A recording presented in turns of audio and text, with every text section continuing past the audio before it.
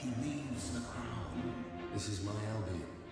Its people will do as I say, or they will die.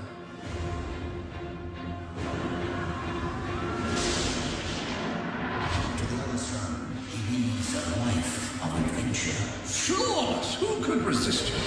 One brother's tyranny leads to starvation and misery, Albion needs nothing less than a revolution. while from the other brother's choices, the quest